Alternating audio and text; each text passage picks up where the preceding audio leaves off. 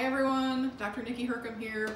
Just wanted to say, hope you're all staying safe and healthy and at home as much as you can. Um, we just wanted to update you on a couple of things here that we're doing at Tulip Tree to keep you and my team safe. Um, first of all, we are all going to make sure that we get tested for COVID before we're allowed to work again.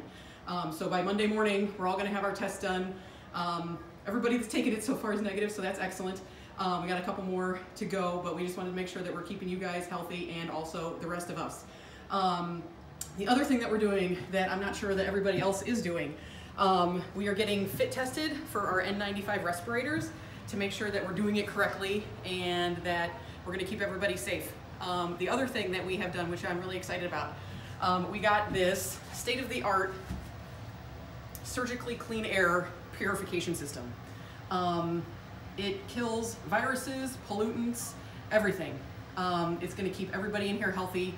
Um, it's got a six stage filtration system and a UVC light that is germicidal and a HEPA filter and an active carbon filter and all this other fun stuff in there, but it's gonna do its job to keep everything, aerosols and all that stuff down and to keep everybody that comes in healthy. So we just want to let you know that we're doing our part and we hope that you're doing your part by staying home when you can. See you soon.